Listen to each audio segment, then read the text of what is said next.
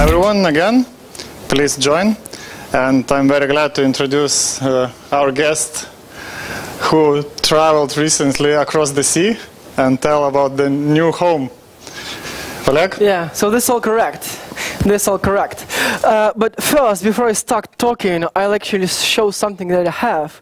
So I indeed traveled across the pond, and uh, I have some goodies. So these are t-shirts, and um, unlike in most times these are S and M, so they, it's, it's not like a sleeping t-shirts, these are proper t-shirts. And even better, I have ladies t-shirts, I'm looking at you ladies. I'll give that away, um, but not, well, I mean, I'm not give that away, I won't give that away. I'll swap that for questions. So if you want to get t-shirts, you have to think about the question. I'll hide that for now, and, and I will start now we'll start. So I'm a little bit nervous and a little, bit worried since that's my first talk since I joined King. Before that, it's like like it's seven years in the industry. For the last four years, I've been traveling traveling around the world and talking on behalf of uh, different companies from games industry, mostly Unity actually. And um, now it's King. So yeah. Um, and it's especially cool that my debut talk is happening here in Vilnius.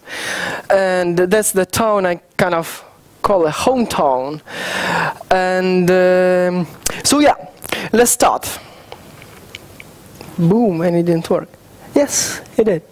Yeah, so we'll talk today about um, about King, about King's new game engine, about games tool, tools and middleware industry overall will answer a very complex question of why would the world need another game engine. We'll talk about the processes inside the King. How do we do the game engine? How do we do games? And yeah, so um, one note here that, uh, well, I mentioned that like Vilnius is the town I kind of call the hometown. I traveled here from Minsk in 2009 to work for Unity Technologies. I was employee number three or four here in Vilnius office, and that was employee about 21st or 22nd globally. And I guess you all know what Unity is, right? Like you all use Unity probably, or at least tried, or at least used. And uh, yeah, today Vilnius office is Unity's Vilnius office is 60 devs, so that's a cool thing. And um, I mean, my bio for this conference says that uh, I care about Lithuania. So this small pitch was kind of um, like resembles that I do care uh, about Vilnius, about Unity, and um, and this slide. So yeah, indeed, the talk was supposed to be about, about Defold and about King and about the game industry, but it's impossible to talk about games industry, about uh, like overall, like be it a games middleware industry, be it about um, games tools, game studios, game dev industry without mentioning Unity. After all, I mean, like, Unity, that's the tool everyone uses, or like, either at work or at home. It, Unity has millions of users, mm, universities across the globe, including Lithuania, they teach Unity, like, that's a standard tool to make games. And uh, Unity has great tools. I mean, Everyone knows that. And recently, Unity stated that Unity owns 30% of top 1,000 mobile game downloads. Think about that. 30%. Now, is it a lot or is it not a lot? So 30% is a lot, but then it's 70% rest, right? Like, what is this 70%? Actually, what do you guys think, or gals? Like, who's who rivals Unity in this space, like right? Who owns this 70%? Any guesses? Come on, like what's on top of your head? Smaller companies. Like, um, I mean, uh, I'm talking about um, what tools do they use to make games? Like, what what tools are used to make this 70% of the top thousand games in the mobile space? in-house. So I mean, that, that, that was too boring. I mean, this guy's is too smart. Okay, I, I won't play this game anymore.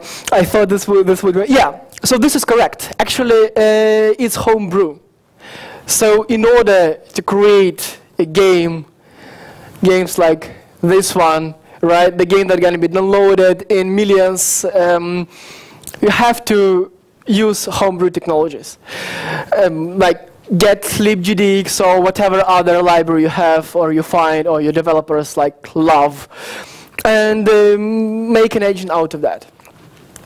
And exactly that. So um, if you look into top 10 or top 20 or top 30 games on the mobile space, you would find one, maybe two Unity games. And there is a good reason for that. If you want your game to be downloaded in, in millions, well, first, that's going to be a free-to-play game, right? I mean, no one has any doubts about that. And in free-to-play space, the game size has to be very small. The game has to load very fast because I mean, uh, when we're talking about free-to-play games, we're, we're, thinking about you know these uh, five-minute uh, toilet sessions, right? So when you have five minutes to play the game, the game has to load instantly. Levels has uh, have to switch instantly. So you have to use these heavily optimized technologies, and also you have to up update these games very often, as in supply new levels, supply new content, maybe weekly, maybe bi-weekly, or you know monthly, at least. Um, you would have, you know, a Christmas update, Easter update, um, uh, St. Patrick's Day, Day update, just like pour, pour, pour new content. So your users, they, they, um, so they don't forget about your game.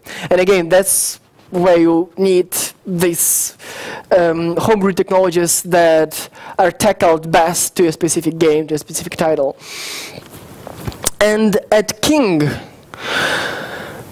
we actually use these homebrew technologies as well. So, uh, for example, Candy Crush Saga, uh, it uses a Fiction Factory game engine. That's game engine that was uh, built inside.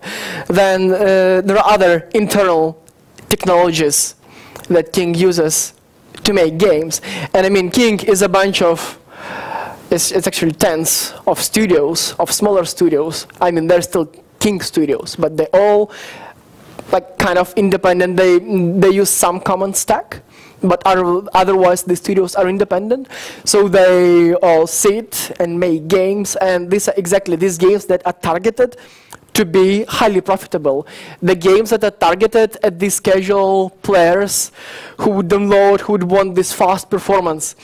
And uh, when we're talking about casual players, we're thinking globally. And here in Lithuania, where phones are sub subsidized, or in Western Europe, when, or in the US, um, everyone can afford an iPhone or, or a top-end Android because, I mean, cellular carriers just offer these deals. But in other parts of the world, people use very low-end devices.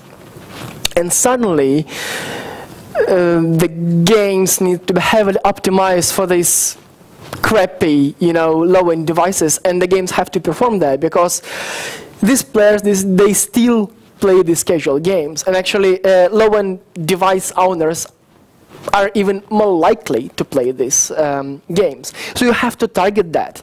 And that's again, that's yet another reason to use these highly optimized engines that you build in-house. So what I am to talk now about is about one of these highly optimized game engines that we built inside. Uh, so Defold game engine. Defold game engine is an engine that has been uh, in production for two years.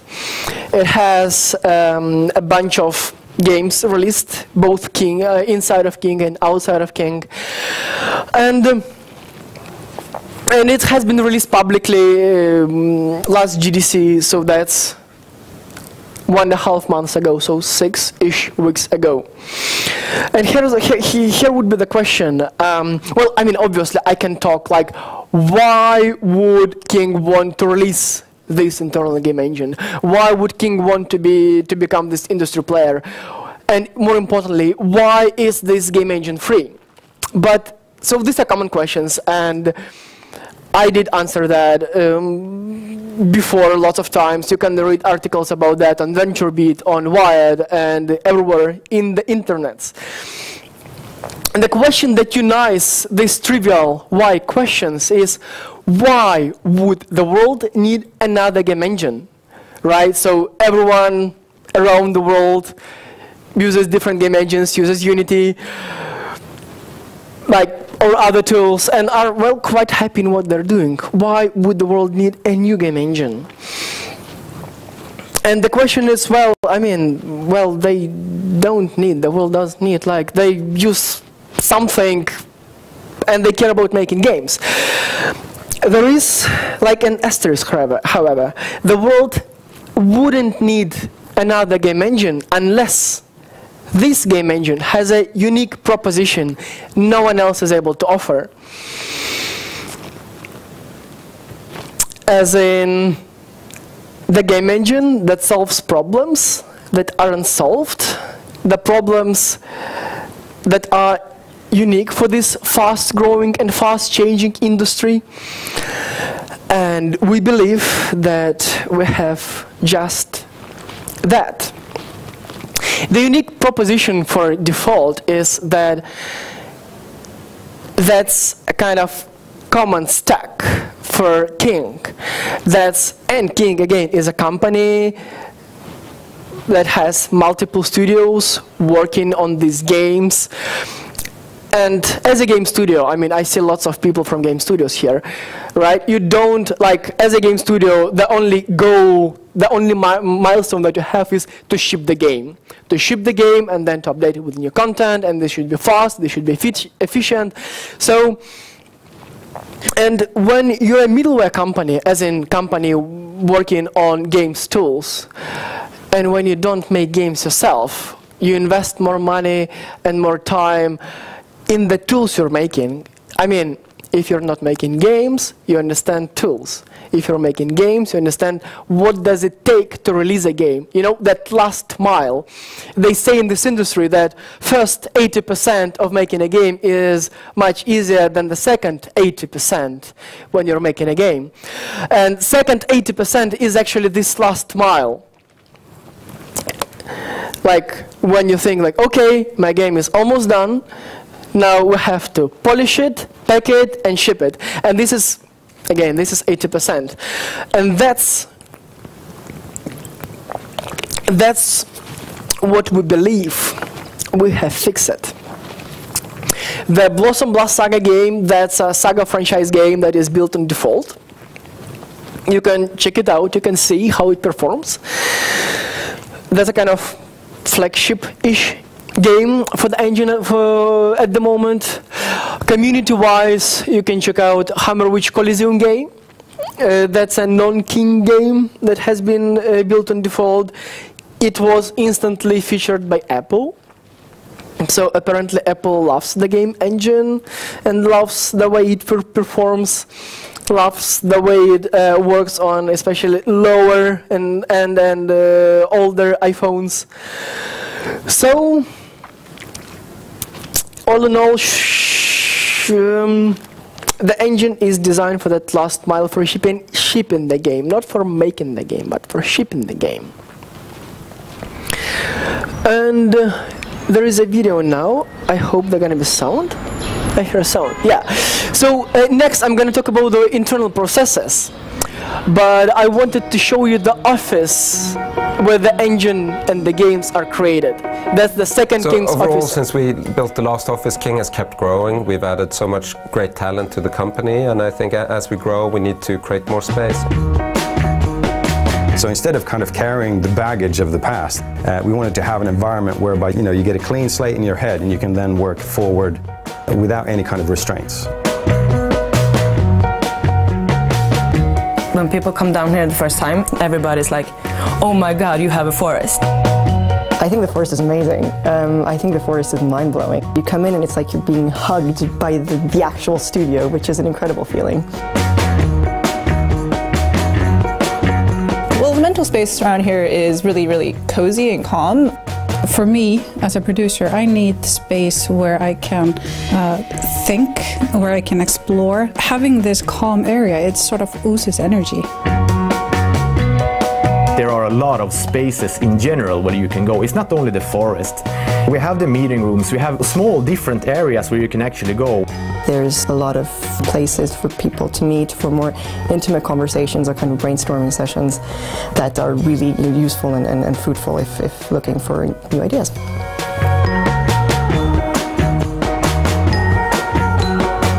The cool thing is that all the projections on the ground are actually interactive, so when you walk on them, it'll like make some kind of sound, as if you're you're walking through water or you're walking on ice. The purpose of the forest at K36 was to create an area where nothing is basically required of you. You don't have to produce, you can just sit and just be yourself. And in those moments of pause, I think, is when the greatest creative things happen. I, think it's an interesting office because we're in the middle of town. It's really a buzzy area of Stockholm, and at the same time, when you come into the office, it's very, it's a calm, great environment to work and concentrate in. So I think you get that blend of a, a great place to be and a great place to work.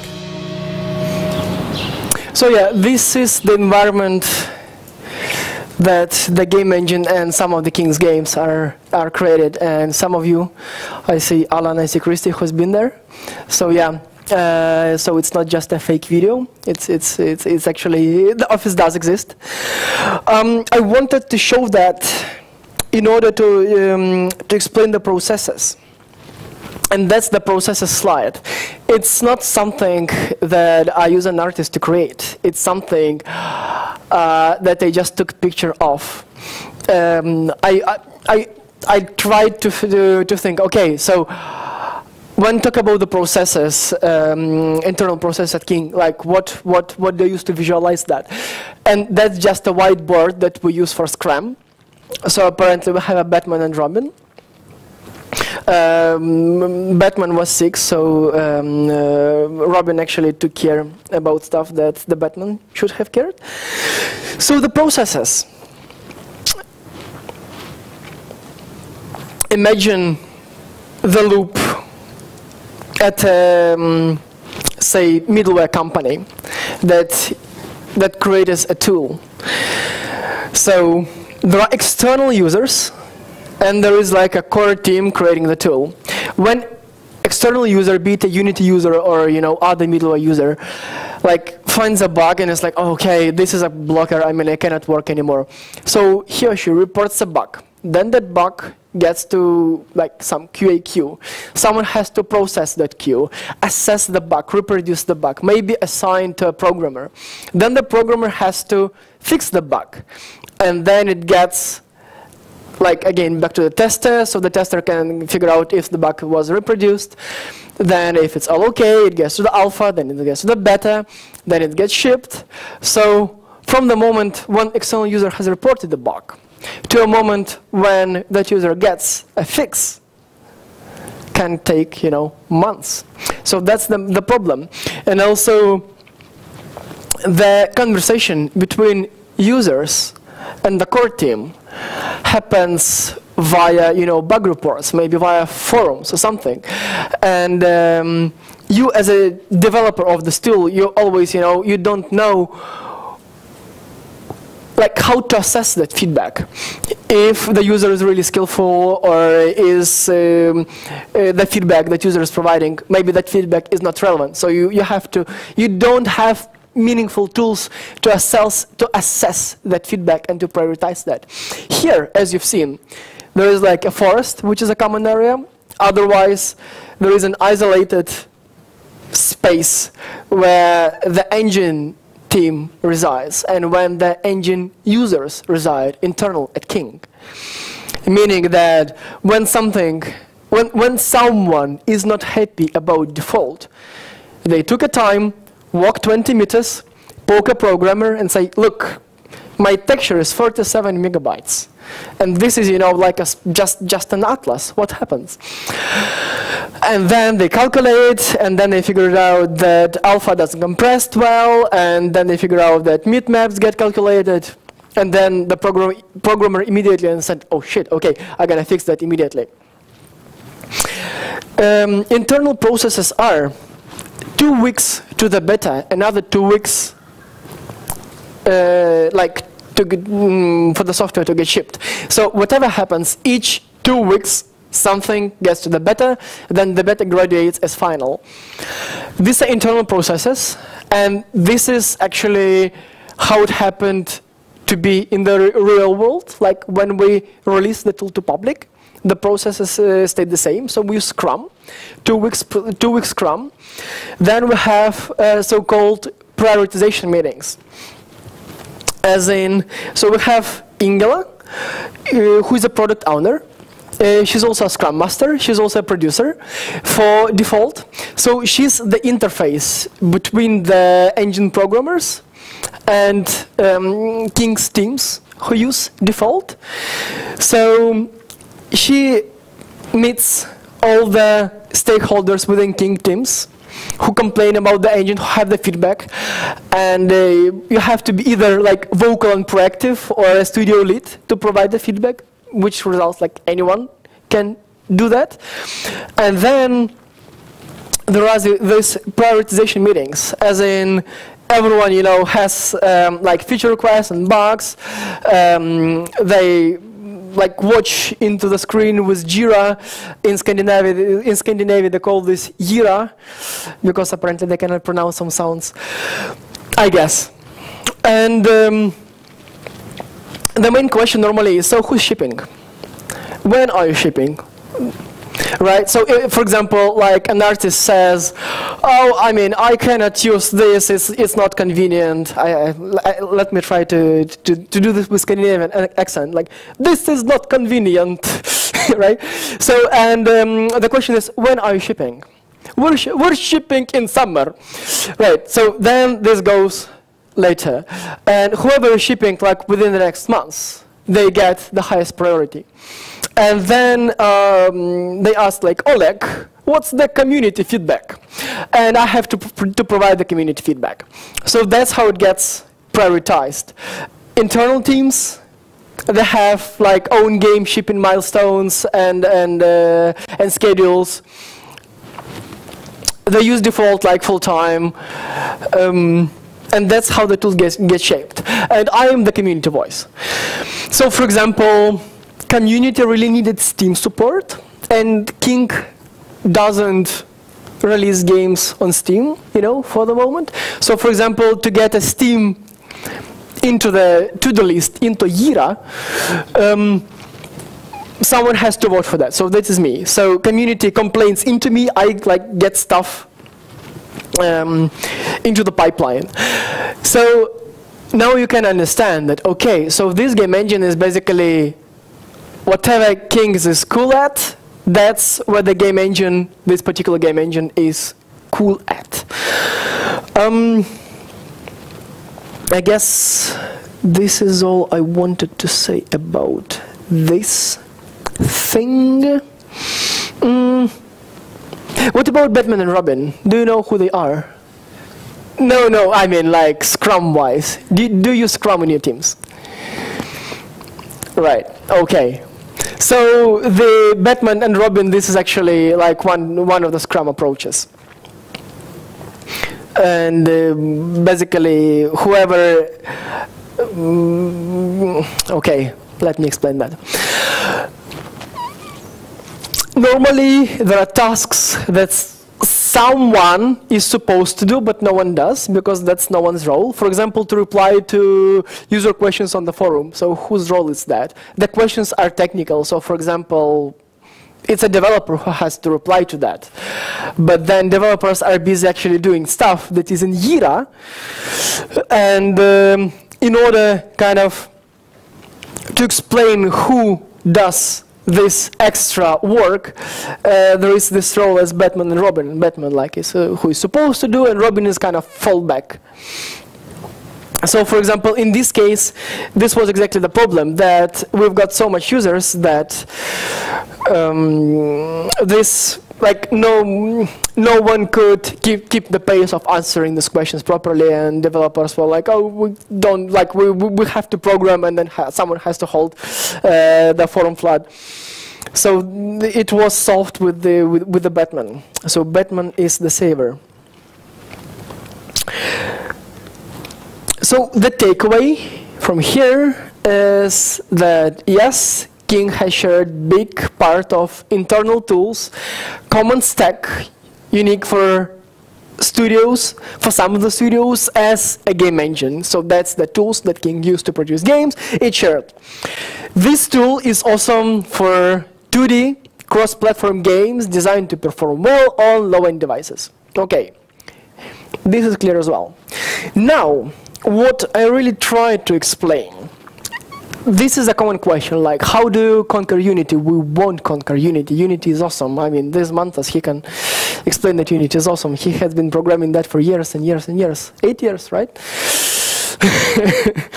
Right. So Defold is not competing with unity and with other tools. Defold is competing with the homebrew middleware. And homebrew is basically a technology that you have to use because you cannot use anything else. So that's what we're competing, competing with. The next slide, the next slide. Take a moment to read it again, to digest that in memory and you know, all that. Uh, also the sausage. I mean, I didn't know what what the thing with sausage is. It's just a gift from a Defold website. I thought this was awkward enough uh, to land into my slides. I also I asked uh, an artist who created that, like, why sausage? He's looking at me. That's not a sausage. I'm like, oh, but but this is okay. If it's not a sausage, like, what's that? He, no. the, yeah, bean, bean. No, his answer was, whatever you like. but like, I like sausage, but apparently, whatever I like except for sausage. Cool. Now the future. A mandatory screenshot from Jira. I hope for after this uh, my talk you'll uh, use only Jira, not Jira, uh, coordinating uh, for the tool. So the future. I've created, uh, actually uh, we have a roadmap, it's almost public, almost as in as soon as legal people read it, it's gonna go public.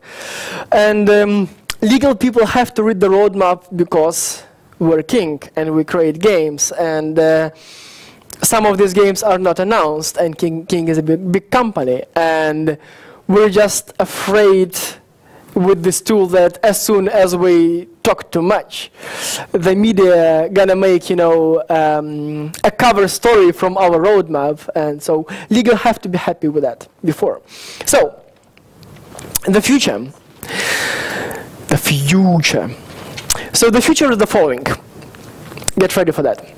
We want to create we want to create a programming language, a new programming language designed for games, for game development. This would be highly efficient programming language. We call it Sol. I don't know why. Because the programmer that has been responsible for, for it is on parental leave. So I cannot ask him so the new uh, the new game the new programming language. That's one mm, breaking thing. Second thing that a new editor we wanna we're building that based on Clojure. Are there any java people knowing who, what Clojure is? No. So that's a cool technology just like that's a cool technology. Um, there is a video on youtube why is it cool and how is it cool Another thing that might resemble here with this auditory is we want to resurrect um, web gaming. So back in the days when Unity had a web player, everyone was creating um, Unity-based um, Facebook games and just web games, got um, auditory on the webs and uh, everyone was happy. Now you cannot pretty much create a web game with Unity, so you have to use what? What do you use to create a web game now?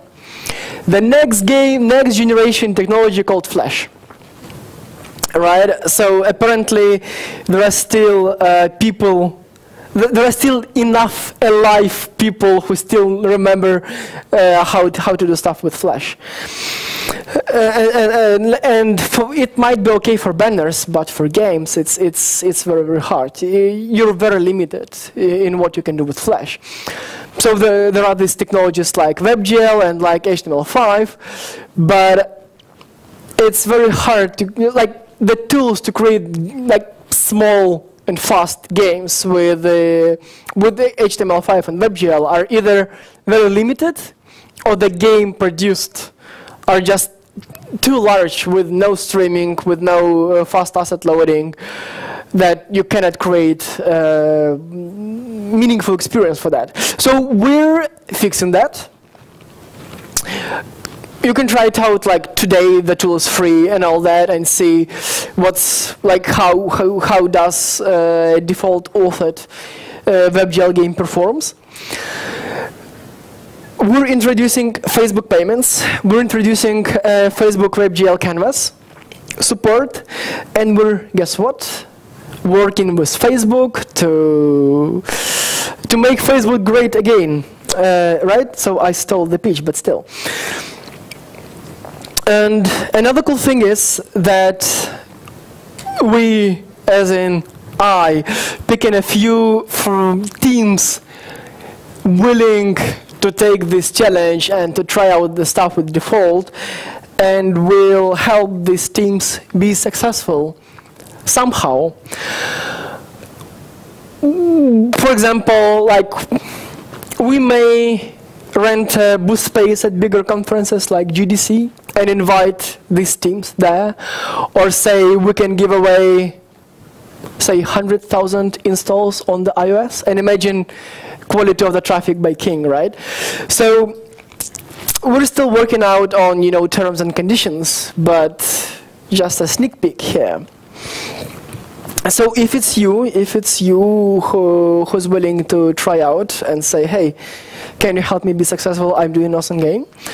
Then uh, go catch me. And for you to, to, to digest the future Jira slide, here's one more video. The Defold is the ability to create games cross-platform without the hassle. So why did me and Christian make this game engine? Well, we wanted to find better ways of making games, and the tools and platforms we found on the market didn't really match what we were looking for. We had lots of ideas and thought we could realize all of them in less than a year. And that's now six years ago. It took that long because we wanted to create the right architecture from the start. Uh, design with cross-platform in mind, uh, which means that you can test your games live on your device instantly over Wi-Fi. And also to make a tool designed for both developers and designers, where designers can test their games on their own. I think Defold is a very good engine if you want to create a, a game quickly with few people. You can just, one programmer, one artist create something and iterate on it and, and have a, a game very fast. I'm the lead developer of uh, Hammerwatch Coliseum, which is a spin-off on the uh, PC and Mac hit Hammerwatch. We actually went from starting a new project to having a prototype ready uh, in less than three or four hours. And now we're releasing Defold free of charge, so you're welcome to test it to create your game. Yada yada. Correct. So uh, this was actually all what I wanted to say you. And there is a Twitter handle, so you should follow me because I tweet pictures and kittens.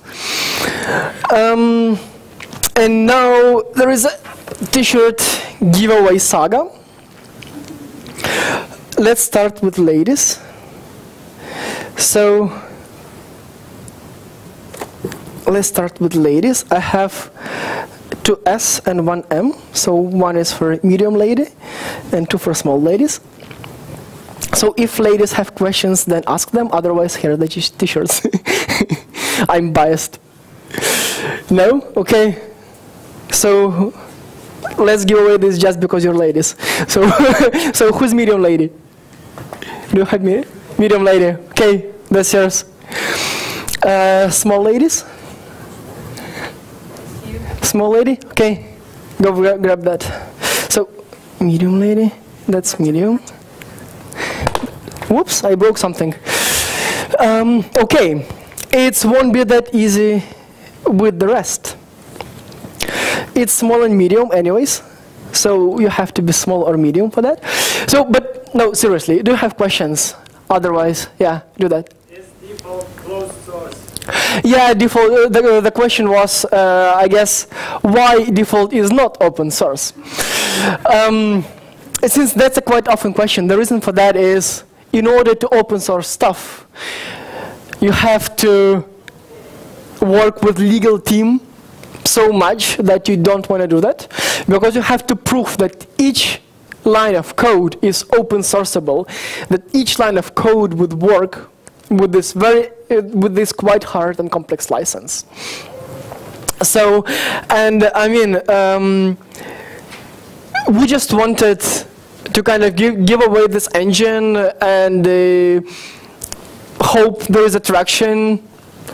Um, and and people would just use that and uh, I mean we'll see how the engine solve current problems of the industry and uh, like open sourcing it, it just would take so much time and efforts that it wouldn't be, you know, feasible for us. From my I, you're an M, right? Okay, we need some smaller people because here. What about smaller people? Otherwise, you'll have to give this away to your girlfriend. Yeah. So uh, that's a great question. Is the engine 2D only? No, it's not 2D only. However, King mostly creates 2D games. So that's why the tooling behind the engine is 2D. The engine itself is 3D. You can import Collada. Now we're working on FBX Importer. So you can import the 3D mesh, but you would have to use Lua scripting to operate with the mesh.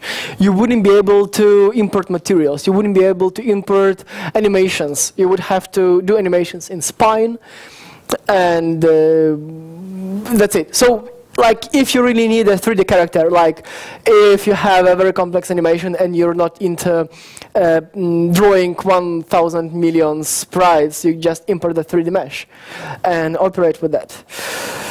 Uh, but we, we, will get better at some point with the 3D things. We won't, you know, uh, position ourselves as a 3D engine, but we'll get better at handling 3D since one of our teams uh, decided that they want uh, to use 3D characters as buttons in the GUI and and they're shipping soon, and so we don't have much options. right. IONS. Okay, cool. Oops, sorry. Two more, two more smaller people. Yes, whoever is more vocal. um, you talked a lot about uh, unity and working in bigger teams, but why should someone, like, say, working on their own with a simpler engine like GameMaker care about people? That's a great question, and that's what I actually that's a, one more great question, which is which is which is very awesome, meaning that the audience here is basically who I wanted to talk to. The simple question is you shouldn't.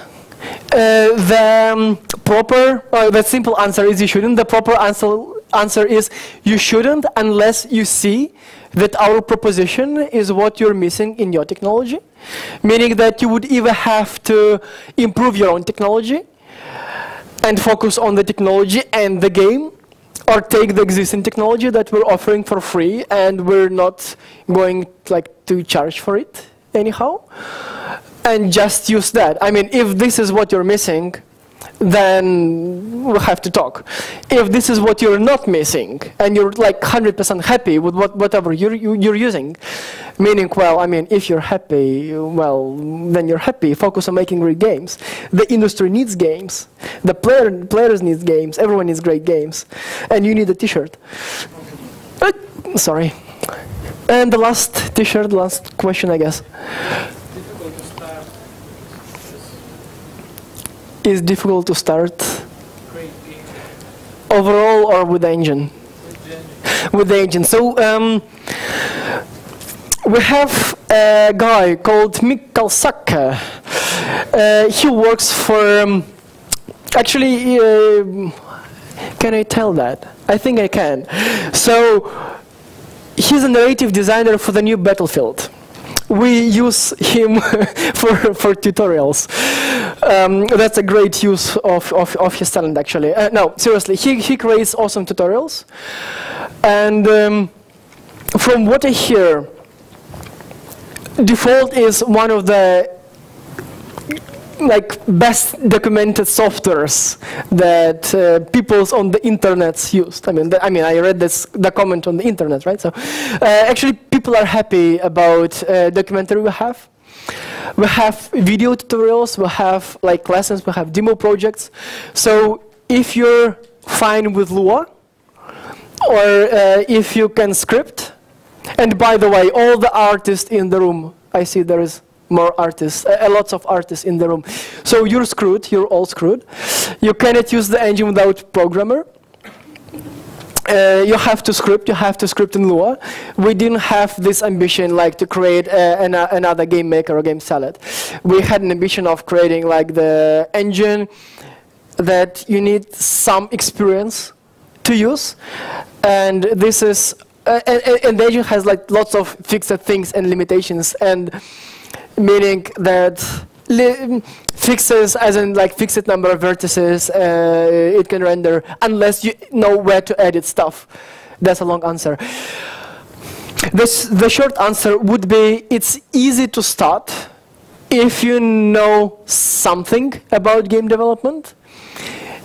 It should be hard if you cannot code overall and, and are not willing to learn. And uh, and yeah, so pretty much it.